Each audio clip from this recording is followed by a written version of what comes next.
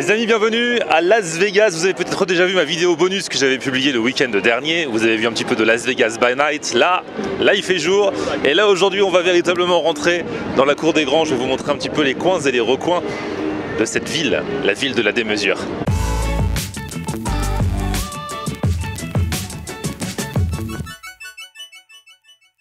Salut tout le monde, bienvenue, nouveau vlog aujourd'hui, on est à Las Vegas donc, la ville dont tout le monde parle, tout ce qui se passe à Vegas reste à Vegas normalement mais moi je vais déroger à cette règle en vous emmenant euh, avec moi. Alors Las Vegas c'est tout, tout, est possible à Las Vegas, vous voyez. Vous pouvez, vous pouvez vous trimballer, vous pouvez rencontrer des demoiselles, hello. Donc voilà, à Las Vegas tout est possible, là par exemple, regardez ici c'est Venise, derrière moi, il y a des gondoles et tout, c'est l'hôtel euh, vénitien et tout ça. Un peu plus loin, il y a Paris, il y a une tour Eiffel, il y a un arc de triomphe, il y a... voilà. Alors la nuit ça bouge encore plus, là c'est le jour, mais nous allons aller manger car je vous dis que c'est la ville de la démesure, c'est le cas également dans l'alimentation et dans les buffets. Quasiment chaque hôtel, chaque palace a son buffet à volonté. Il y en a certains qui sont plus réputés que d'autres.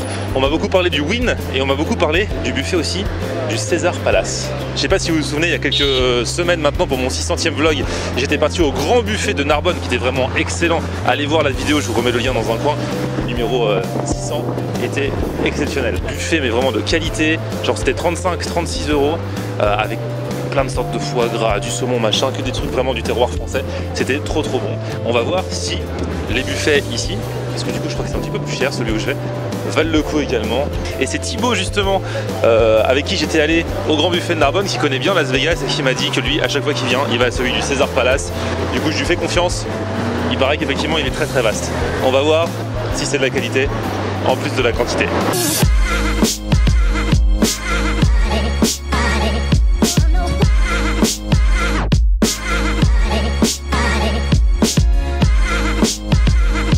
Je suis arrivé dans le hall.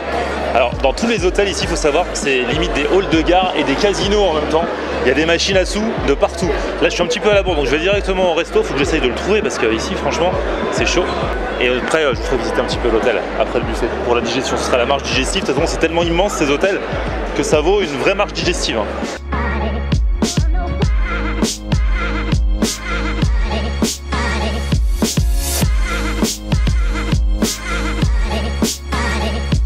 Allez, bien arrivé au buffet, on va partir le visiter. Je vous mettrai les prix euh, dans la barre d'infos parce que ça change selon le jour euh, et tout ça. Là. on est le week-end et on va voir un petit peu ce qui se passe. Il y a plusieurs buffets en fait, plusieurs spécialités. Il y a l'air d'avoir des viandes de ouf. Déjà ici, il y a des petits burgers, de homard. Et là, par là, c'est les viandes là. Regardez-moi ça. Saucisse de poulet, du brisket,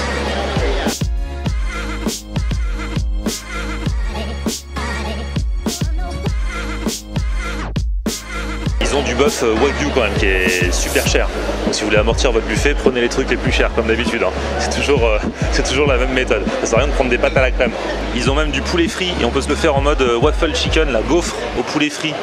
Et derrière moi c'est les fruits de mer. Alors pour ceux qui kiffent, il y a des pâtes de crabe, des belles crevettes, petite salade de fruits de mer. Il y a des huîtres. Ici, il y a un stand où elle fait des tacos apparemment. C'est immense. Hein. Franchement, on se perd dans le truc. Ah, par ici, à la queue, il va y avoir un truc intéressant encore. Ah ouais, regardez ça.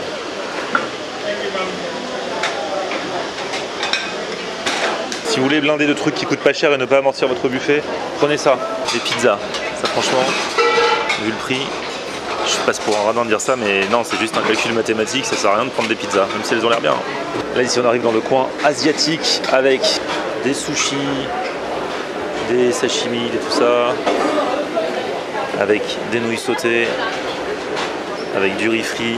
Là par ici, il y a toutes les vapeurs, les dim sum euh, asiatiques, raviolis chinois et toutes autres sortes de vapeurs. Là ici, les viandes cuisinées euh, à l'asiatique. Non mais c'est immense, hein, je ne sais même pas si je vais pouvoir avoir tous les coins, zéro coin du buffet. Je suis sûr que des fois, il y a des gens, ils viennent, ils se focalisent dans un endroit de la salle, ils pensent que c'est fini, et en fait, il y a des buffets à l'autre bout de la salle encore. Ah bah ici, c'est plus les desserts.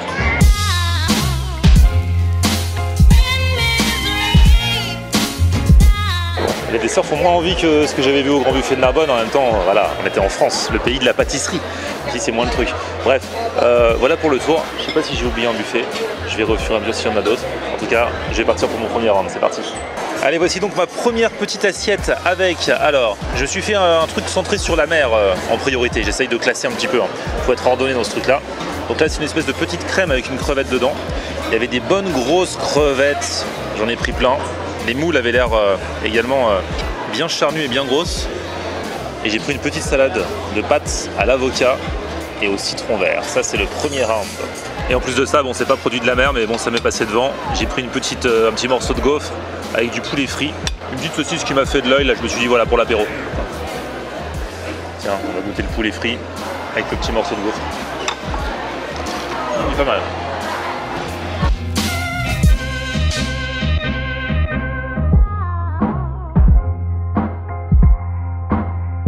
J'aime bien une petite salade euh, de pâtes, avocat, citron vert. Franchement, ça c'est une tuerie. Bon, les crevettes, elles sont bien charnues. Elles ont pas tant de goût que ça, je trouve. Beef, please. And uh, brisket. And, uh, and beef three please. Yes. Thank you.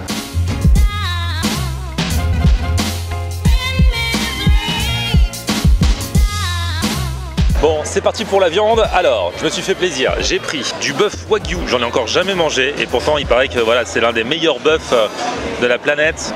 Que la viande est trop bonne. J'ai pris du brisket et puis j'ai pris euh, une autre viande de bœuf aussi avec une purée qui m'a fait un petit peu envie. Elle avait l'air bonne et le mac and cheese. On va voir ce qu'il vaut. Ah oui, puis j'ai pris de l'os à moelle également. Bonne row.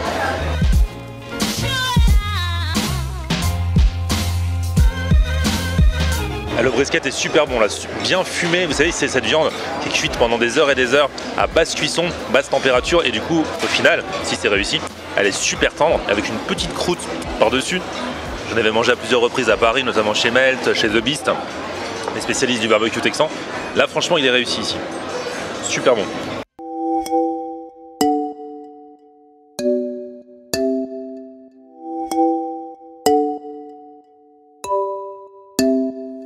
Troisième round était consacré aux viandes. Et franchement, ça cale de ouf les viandes. Hein. J'ai pris trois morceaux, en plus c'est bien servi. Plus les accompagnements. Après, t'as plus trop faim pour le, reste. Quoi, hein. Euh, je vais faire un tour du côté du buffet asiatique.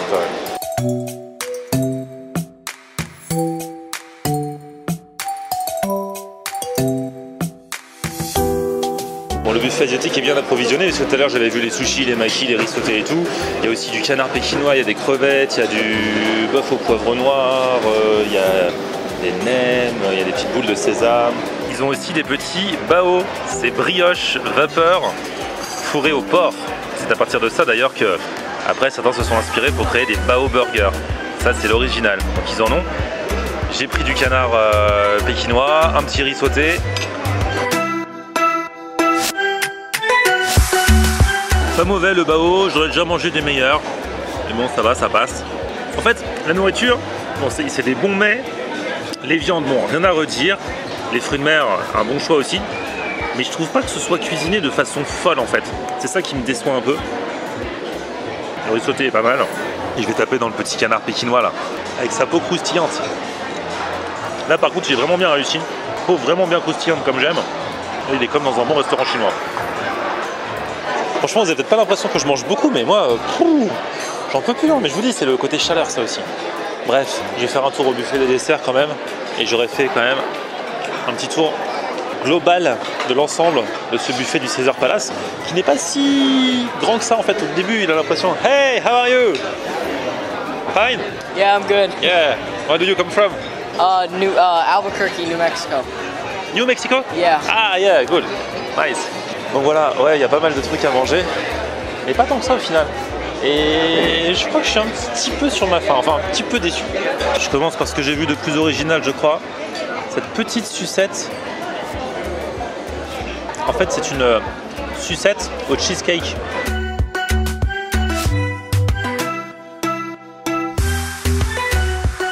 Fondant au chocolat, très bon aussi. Ce que j'ai goûté, euh, ils se défendent bien. Tiens, un petit cookie. Chocolate chip cookie. Des bons gros morceaux de chocolat dedans. Bon bah voilà, sortie du grand buffet. Là derrière moi, c'est les gens qui font la queue. En fait, le buffet est ouvert, je crois, de 7h30 du matin jusqu'à euh, tard le soir. Donc vous pouvez venir à toute heure manger. Le truc, c'est qu'il y a possibilité de réserver, mais que même quand on réserve, euh, bah, faut faire la queue, sauf si vous payez 35 dollars en plus par personne, et là, vous passez devant tout le monde. Donc euh, c'est un choix à faire, un peu moins d'argent sur le compte en banque, mais pas de queue à faire. Voilà. Et dans ces cas-là, vous êtes même VIP, et ils vous mettent un plateau de fruits de mer, et, déjà tout fait, plus du champagne et tout. Bon du coup, après ce buffet au César Palace, je vais entreprendre ma petite marche digestive, et je viens de me dire un truc. C'est vrai que j'ai testé le César Palace, j'ai été mi-figue, mi-raisin en fait, surtout à cause du prix, je l'avoue, qui, je pense, ne valait pas complètement le coup. Euh, et du coup, je me dis, si j'allais tester celui du Win, l'hôtel là qui est derrière moi, c'est l'autre buffet dont tout le monde parle ici à Las Vegas. À la base, c'était pas prévu quand j'ai commencé la vidéo, mais je me dis que j'irais bien y faire un tour.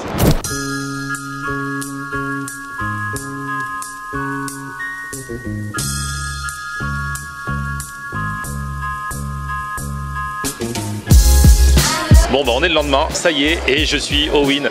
Je suis faible, finalement je me serais fait les deux en deux jours. Alors là c'est en mode brunch, parce qu'à l'heure où je vous parle on est dimanche matin.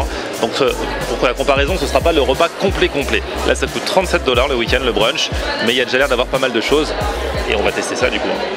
Avec toutes sortes de viennoiseries, fish and chips, il y a des pizzas, il y a les French toast, il y a des petits burgers, pâtes, porc, polenta. Ici aussi, il y a des pancakes qui sont faits à la demande. Des œufs bénédicts, du riz, du mac and cheese ici aussi. Différentes sortes de pain. Les traditionnels euh, œufs brouillés, saucisses, bacon. Ah, ici aussi, ils ont des bonnes viandes là. Pour un brunch, c'est pas mal. Ils ont des ribs, ils ont aussi des nems, des vapeurs. Par ici, il y a des fruits de mer. Alors, c'est que le brunch, donc j'ai l'impression qu'il y a moins de choix euh, que là-bas. Donc, il y a des huîtres, du saumon, des crevettes. Par ici, les desserts.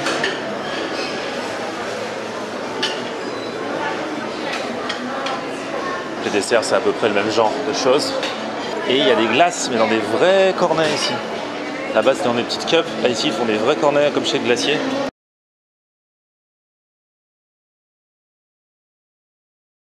Alors déjà au niveau du cadre, je trouve que c'est beaucoup plus joli, ça fait un peu moins euh, cantine, un peu moins rush, c'est plus pisse, c'est moins. ça grouille moins de monde. Alors peut-être que c'est rapport à l'horaire aussi. Hier j'y suis allé, il était 14h30. Euh, Mais là on est un dimanche, c'est un jour de brunch, il est 11h du matin quoi. Hein.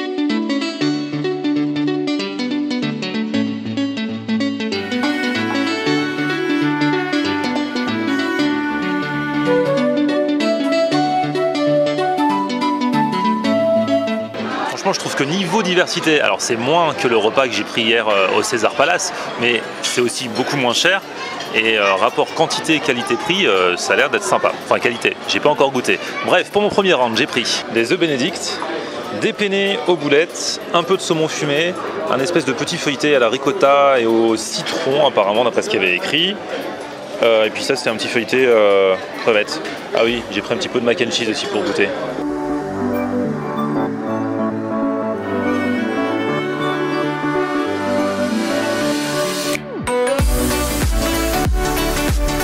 Les boulettes, c'est un plat super simple. Hein. Limite, c'est un plat de cantine, mais là, franchement, c'était très très bonne. Le saumon est de bonne facture. Le mac and cheese, très crémeux. C'est la version euh, plus de crème, pas trop, de, gratiné, carrément pas gratiné. Il était pas mauvais. Je crois que j'ai préféré celui d'hier, le mac and cheese. Tiens, je vais goûter ce petit chausson. Ricotta, citron.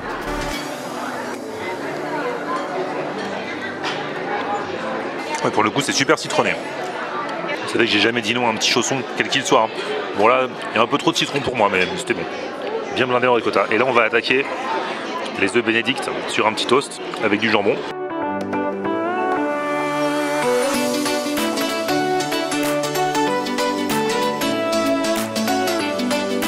Je m'attendais à ce qu'il soit coulant euh, l'œuf bénédicte. Bon, ça va, c'est bon quand même. La petite sauce hollandaise qui était dessus, euh, était digne de ce qu'on peut attendre de ça. Bon, je vous préviens, avec tout ce que j'ai mangé hier, aujourd'hui, il n'y aura pas une quantité de ouf. Hein. Je vais pas essayer les viandes, malheureusement. Euh, je vais y aller vraiment soft mais ça nous donne quand même un bon aperçu du buffet.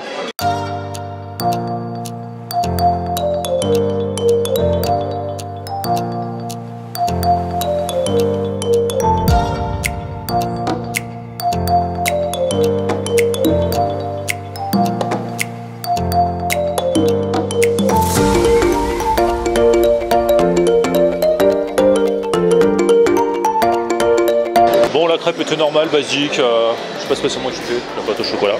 J'ai terminé avec une petite glace parce qu'il y a un stand de glace de fou.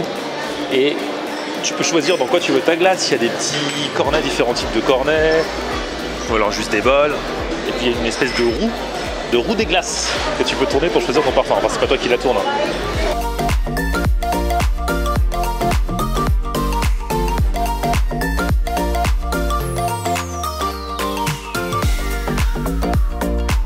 J'avais déjà fait des battles de fast-food, mais des battles de buffet à volonté dans une seule vidéo. Ça, c'est du jamais vu. Même si je l'ai fait en deux jours, je peux vous dire que mon estomac, quand même, euh, s'en souviendra. Bon, j'ai été mollo mollo aujourd'hui. Là, je vais sortir. Faut bien réfléchir avant de sortir, parce qu'il y a écrit no re-entry. Je peux pas re-entrer après.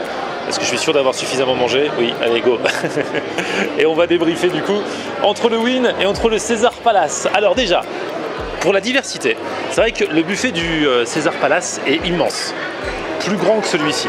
Donc il y a beaucoup plus de choix que ici, sachant que ici on était en mode brunch. Donc je me demande quand on est en mode euh, dîner le soir, euh, peut-être qu'il y a un petit peu plus de trucs. Mais déjà, même pour un brunch, franchement, c'était royal. Il y avait des viandes, il y avait du poisson, il y avait des fruits de mer, il y avait tout. Pas autant que dans celui du César Palace, mais déjà beaucoup. Niveau qualité, alors j'étais un petit peu déçu sur certains plats euh, au César Palace, certains trucs n'avaient pas trop de goût, les crevettes par exemple n'avaient pas trop de goût, bon c'était bon quand même, mais je pense, enfin de ce que j'ai goûté là, niveau qualité, gustativement parlant, c'était quand même mieux au. Au niveau du prix, le prix est plus accessible au Win. Franchement, le César Palace, on dit que c'est le buffet à volonté le plus cher euh, de Las Vegas, je veux bien le croire, et je trouve en fait que ça vaut pas le prix. Ok, c'est des bons ingrédients, ok, il y a des bonnes viandes, ok, il y a des bons fruits de mer, ok, il y a des pâtes de crabe, ce qu'il n'y avait pas là.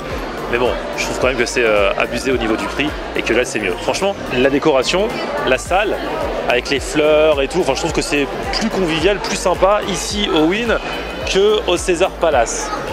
Au final, du coup, je pense que pour le rapport qualité-quantité-prix, il vaut mieux privilégier le Win. Le César Palace, ça peut aussi être un truc à faire. Euh, J'ai très bien mangé hier, il y avait plein de trucs, franchement, mais le problème avec les buffets à volonté, c'est que tu as tellement de choix. Tu te dis, ouais, c'est génial, il y a plein de choix, mais de toute façon, tu pourras pas tout manger. Donc, je trouve que celui-ci, du coup, paye un petit peu moins cher, il y a un peu moins de choix, mais euh, c'est top, quoi. Donc, euh, voilà. Après, voilà, kiffez, allez là où vous le souhaitez. De toute façon, tout le monde n'est pas forcément du même avis, mais ceux qui se démarquent ici à Las Vegas, c'est vraiment le Win et le César Palace. J'aurais testé les deux, et franchement, j'en suis pas peu fier dans cette vidéo. J'étais pas parti pour, hein. j'étais parti que pour tester le, César. Mais bon, je me suis dit, allez, je suis pas à Las Vegas tous les ans, testons, allons jusqu'au bout de la chose et faisons cette vidéo. Comme ça, vous aurez vu un petit peu un aperçu des deux.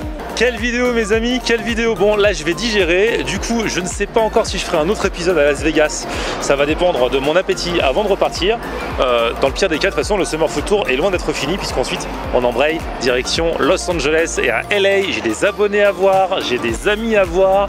J'ai des restos à tester il y a plein de trucs qui vont se passer donc euh, franchement restez à l'écoute, abonnez-vous si ce n'est déjà fait, activez les notifications, la petite cloche là pour savoir quand est-ce que je publie des vidéos pendant ce Summer Food Tour parce que ça peut être parfois un petit peu aléatoire. Par exemple samedi dernier, hop, il était 13h heure de Paris, j'ai décidé de publier directement ma première vidéo à Las Vegas et je l'ai fait et ceux qui avaient activé la cloche du coup l'ont eu directement. Donc voilà, je vous attends et puis on se retrouve également après que vous ayez mis un petit pouce vers le haut si vous avez kiffé la vidéo sur mon Facebook, Florian On Air, et Twitter, Snapchat, Instagram, c'est aussi Florian On Air. A plus, ciao